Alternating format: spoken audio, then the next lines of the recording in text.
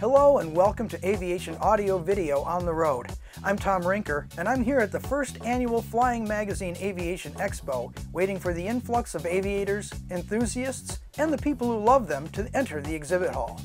What strikes me about this show in particular is that there's something for everyone, from state-of-the-art aircraft and equipment to exotic cars to cool jewelry. This show will most likely keep your attention throughout its three days of fun. And so I'll wander the exhibits, check out the seminars and workshop sessions, and try to capture the most interesting and new offerings I can find. Now yesterday was the Parade of Planes, which is definitely a showstopper. A huge crowd was on hand to see and hear the arrival of several dozen unique aircraft. I have to say, there's something about an Eclipse 550 roaring down a city street to create a sensation, not in the mind, certainly in the chest. I was able to catch up with some of them after they parked next to the convention hall.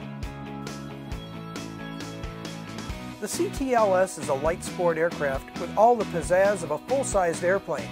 I talked with Kenny Shirato at Flight Designs West and asked him all about the sophisticated avionics package on board. And it has a built-in autopilot in it, and uh, you have a, a separate com uh, radio system, and you have a 796 Garmin uh, GPS mounted in the center panel.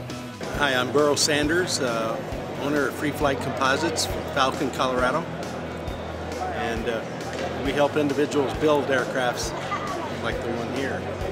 And uh, designed to be a high performance, two seat sport plane. It's also very good for cross country travel. It'll travel at 260 miles an hour on almost 30 miles to the gallon.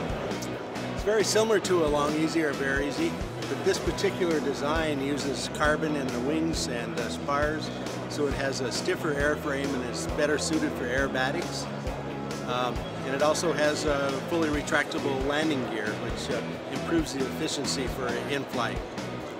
And it also has uh, a more sporty type handling than a VariEze or a Long-EZ.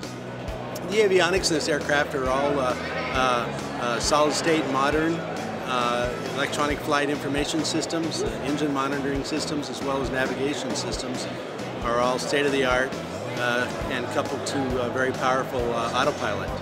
It allows the aircraft to be flown in IFR conditions and which really raises the utility of the aircraft. Yeah, my name is Tom Binsfeld from California SeaRey out here in Palm Springs uh, with the Progressive Aerodyne two-place amphibian, the SeaRey.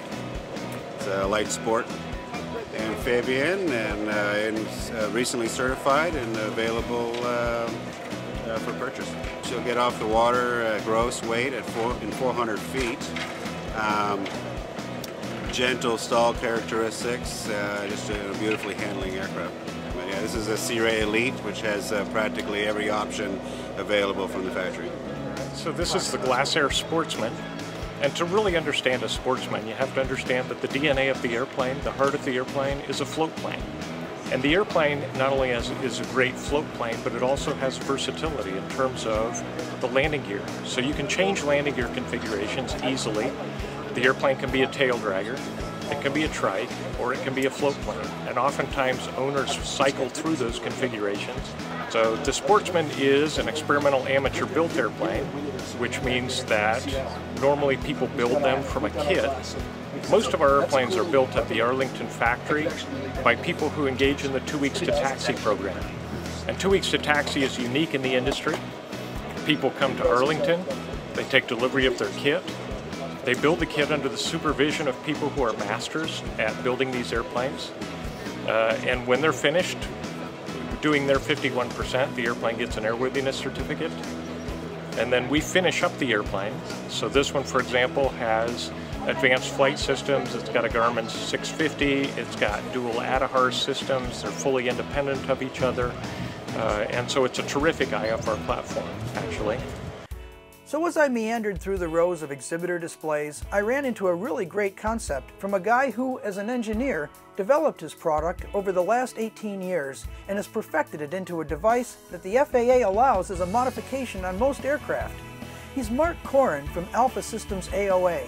His angle of attack indicator is something I feel every plane should have on board. As you increase your angle of attack, your margin of lift over stall decreases to a point where we calibrate at optimum alpha, which is the blue, or the blue donut here.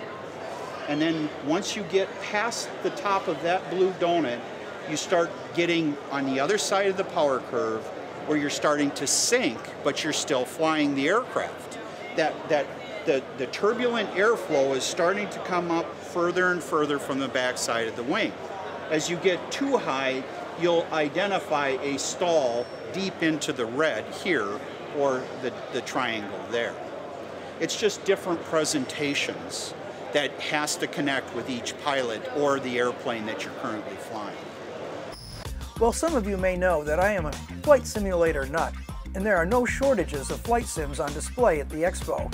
In fact, they kind of run the gamut from this ground-based motion simulator that generates long lines at air shows to pilot-oriented training simulators like the Cirrus model on the TouchSim. Well, my name is Chuck Calley. I'm a factory instructor for Cirrus Aircraft, and uh, we use Fly This Sim simulators in Duluth, Minnesota for training new Cirrus owners. At least it's one of our simulators. Uh, what we love about the Cirrus uh, platform on the Fly This Sim is that a pilot can literally take the checklist out of the airplane, bring it to the simulator, use a checklist to fire it up and fly it and practice uh, procedures just as if they were in the airplane.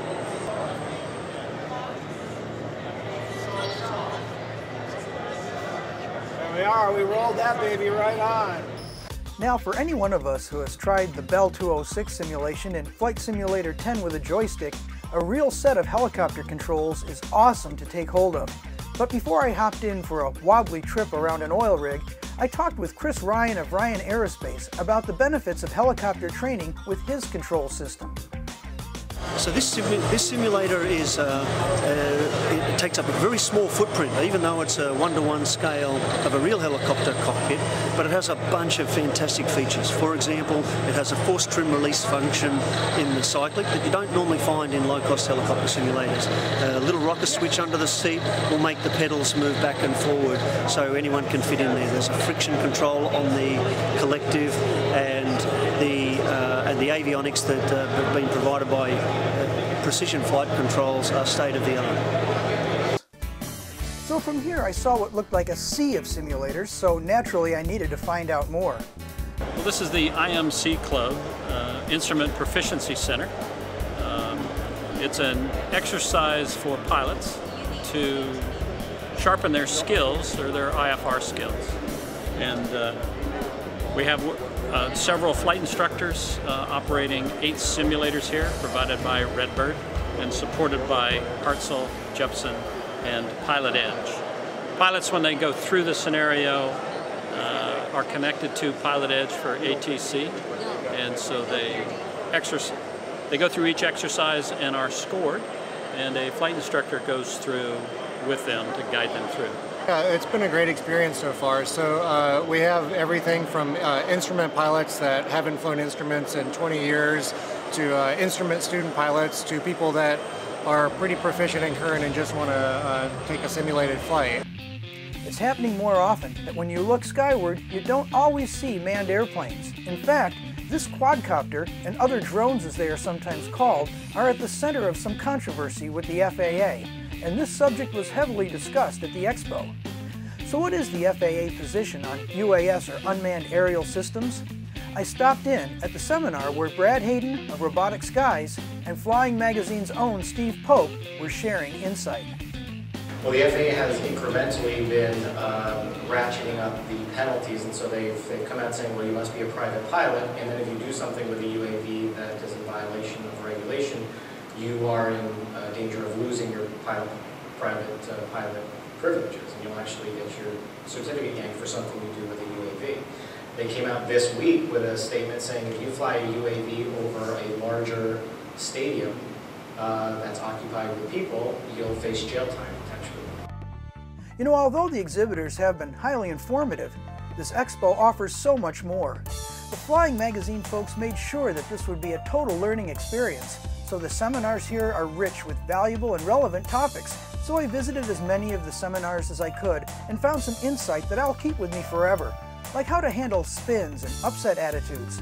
Judy Phelps, Master CFI, was excellent at straightening us out. Any questions so far? Good. Um, elevator. So back to his question, he says, well, why would you not put the elevator forward prematurely to break the stall? Because it doesn't. So when you're spinning, if you put the elevator forward prematurely, what happens is the nose of your airplane drops closer to the spin axis and the rate of rotation increases. So you want to, you know, make sure you're holding it all the way back. Or if you don't have the yoke or the stick all the way back and you're spinning, put it there. So before I go, I would like to thank all the folks at Flying Magazine, Lift Event Management, and the Abbi Agency for working hard to produce a first-rate exposition. And I would also like to thank them for their hospitality and help. So until next time, I'm Tom Rinker saying so long from Aviation Audio Video on the Road, and as always, keep looking up.